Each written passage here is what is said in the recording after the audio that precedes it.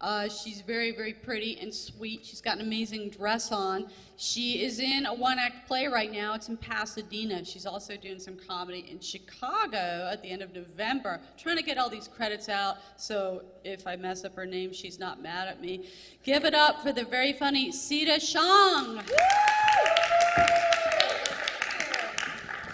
Was great. You got it just right. That's that's amazing. It's it's a first for a white person. It's, it's great stuff. Um, so I used to get asked this question a lot uh, uh, when I lived in the Midwest. A little bit less out here, and that question was, "Where are you from?" No, no. Where are you really from?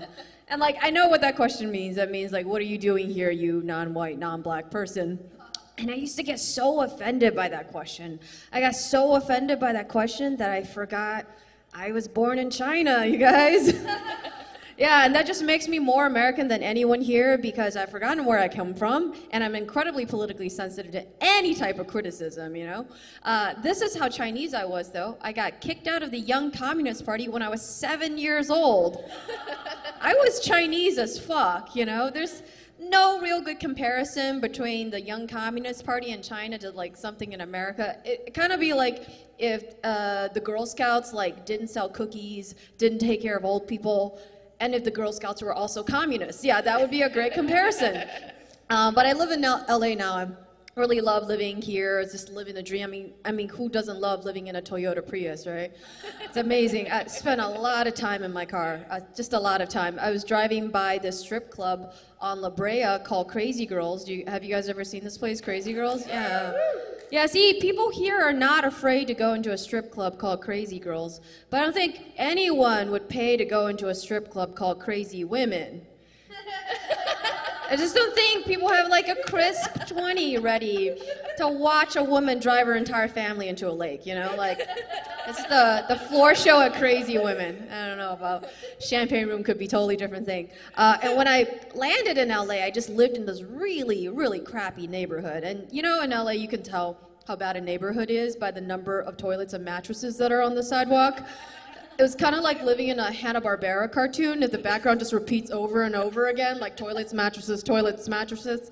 You'd walk a block and it would be like toilet, mattress, jack in the box. Okay, maybe maybe I'll change. Walk another block, toilet, mattress, human turd. Well, why isn't the human turd in the sidewalk toilet? That makes sense.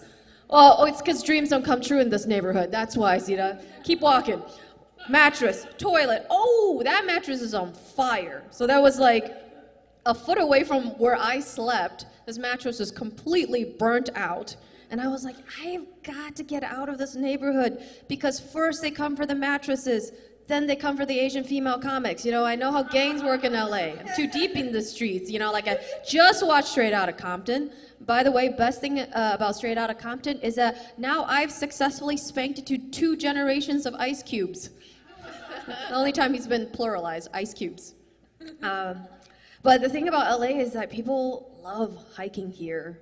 And I just like hate people who talk about hiking because it's like every time they talk about it, it's like, oh, we're on this amazing adventure. And it's like, do you know what mountain people are? Do you know what hillbillies are? Do you know what hicks are?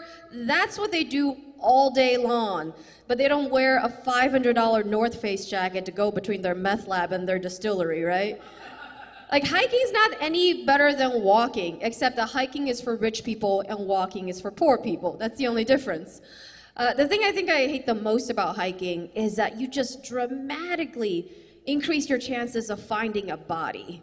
You know? And that's just not chill. That's not chill. Like, if you end up dating somebody who loves hiking, my best advice for you would be to take them hiking, murder them, and then you never had to go hiking again.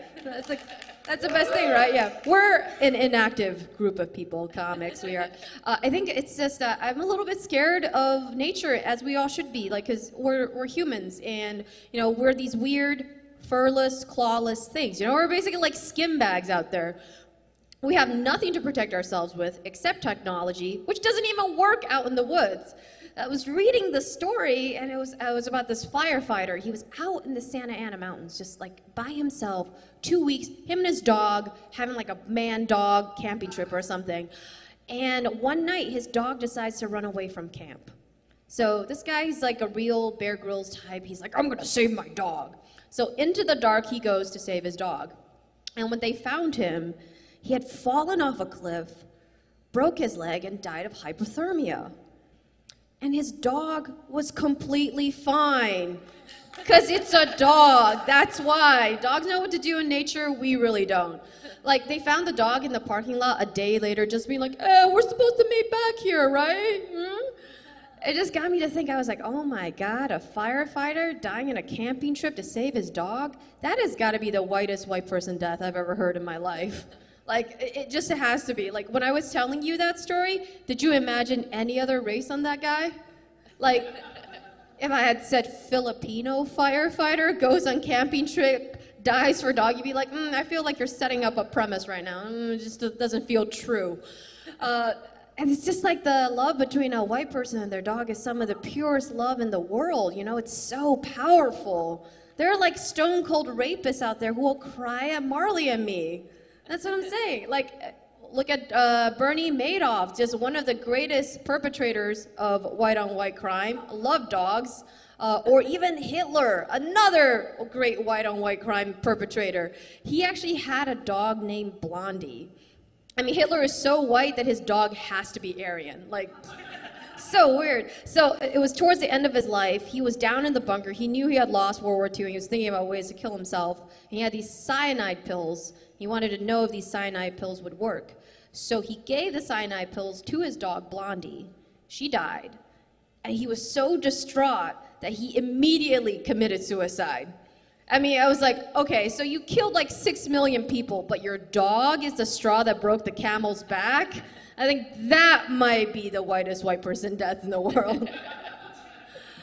Uh, I, am to get out of here on this last bit. Uh, I think women are pretty accepting, and since we're in a group of women, everyone agrees with me. And this is why. Uh, when we get pregnant, we're just okay with this rando, and I do mean rando because a fetus is just a random combination of DNA, like kind of subletting our body for nine months, and then just making the rudest exit possible, right? like like a fetus is the worst roommate. They never pay for food. They're always moving around, keeping you up. And then when they shoot out of you, you just say goodbye to your security deposit on your vagina, right? Because that shit is gone. You know, it's kind of like the fetus is Will Smith and Bad Boys, and your body is the explosion they're slowly walking away from. okay, thank you so much. My name is Ceda.